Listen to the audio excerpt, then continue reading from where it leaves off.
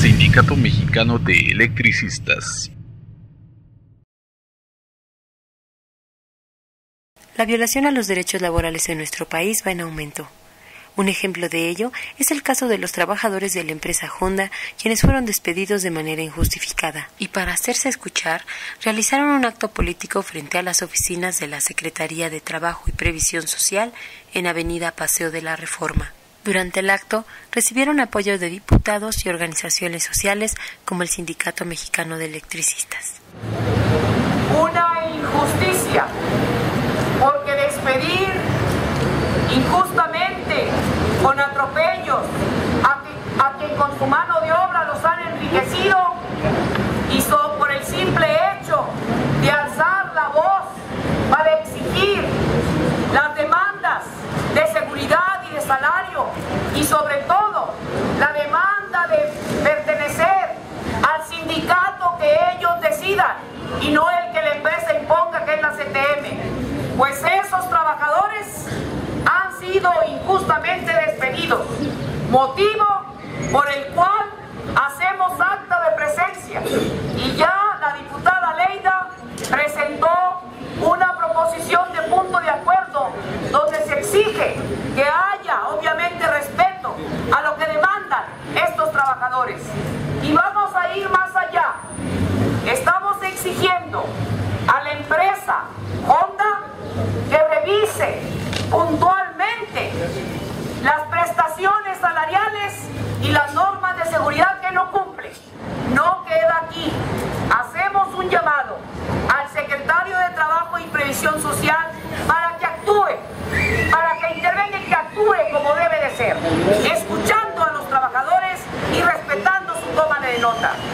Hacemos un llamado a la empresa para que revise, como ya dije, las normas de seguridad y las prestaciones laborales y salariales de los trabajadores.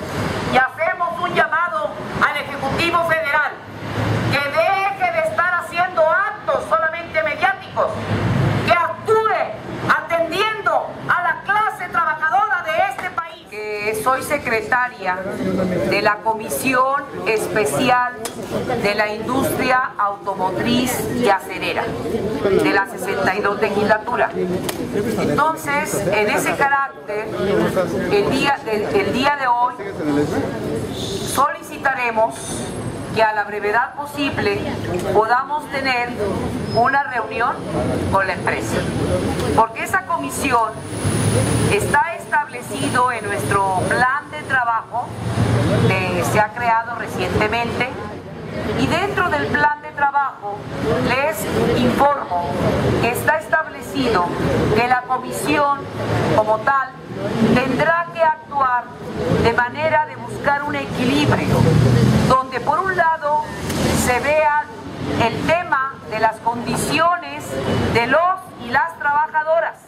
Aquí en solidaridad con los trabajadores de Honda que arbitrariamente fueron despedidos, que el grupo parlamentario del PRD, aquí con Socorro Ceseñas, Roberto López Suárez y una servidora, hemos iniciado gestiones en la permanente para que haya una revisión de este caso, para que sean eh, restituidos sus derechos laborales desde el pago del bono, una mesa de diálogo en donde haya pues toda la exposición eh, de jurídica de lo que implica el reconocimiento de sus demandas, de lo que han venido denunciando en diferentes momentos ante las instancias federales y locales, que lamentablemente pues no hemos visto del todo lo que hayan respondido al respecto.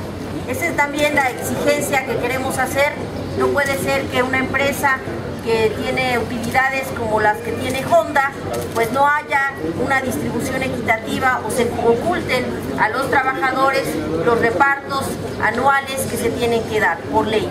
Es por eso que estamos aquí y queremos decirles, este punto de acuerdo se va a discutir hoy en la, en segunda comisión de la permanente, mañana en pleno, y esperamos haya el resultado, el respaldo de todo el Congreso de la Unión para que no se cometan estas arbitrariedades, insisto, con todo lo que implican los derechos a los trabajadores del Honda.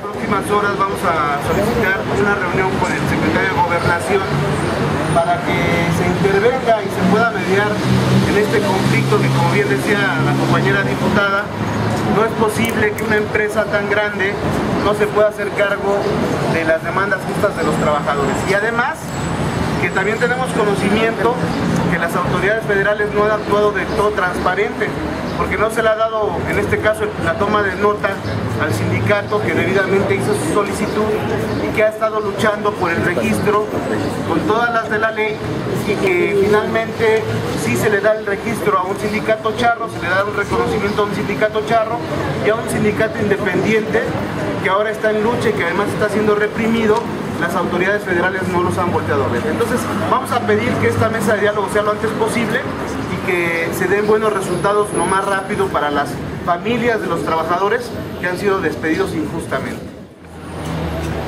Como ustedes saben, nosotros nos conformamos y creamos un sindicato verdadero, un sindicato democrático y la empresa, en vez de apoyar a los trabajadores, empezó a reprimir y a despedirlos. A tal grado ha amenazado que a las mismas familias les habla y los intimida de que si se organizan o piensan en unirse al sindicato del STUM, van a ser despedidos.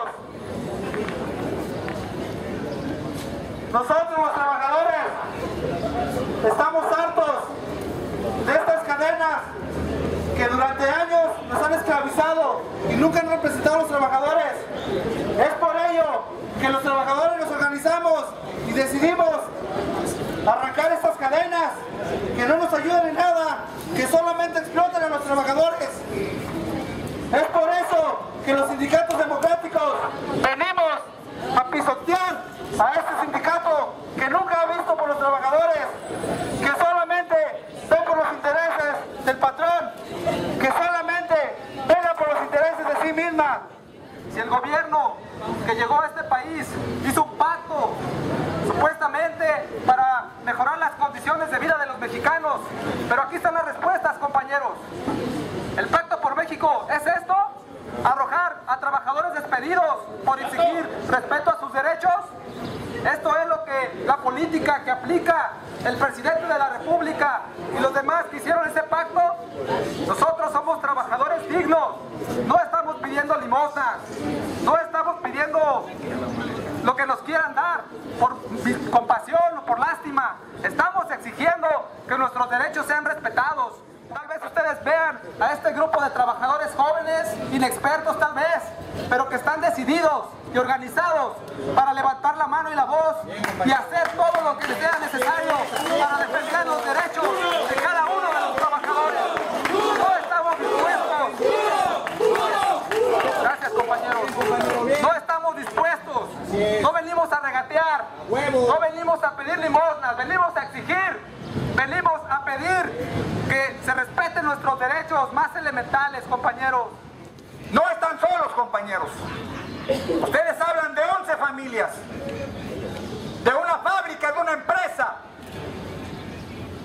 Yo hablo de 16.500 trabajadores, de más de 16.000 familias, que tampoco tenemos un dinero en la bolsa, con tres años, ocho meses resistiendo. Y ejemplo, compañeros, y nosotros los vemos